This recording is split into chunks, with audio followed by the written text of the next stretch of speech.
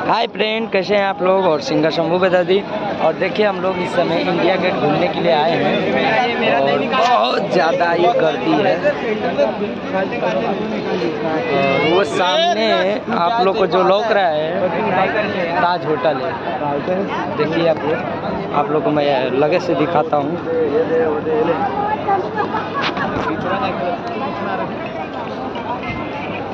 India gate है। और आप लोग देख सकते हैं। और वो जो मंदिर आप लोग को जो बिल्डिंग लौक रहा है वो ताज होटल है।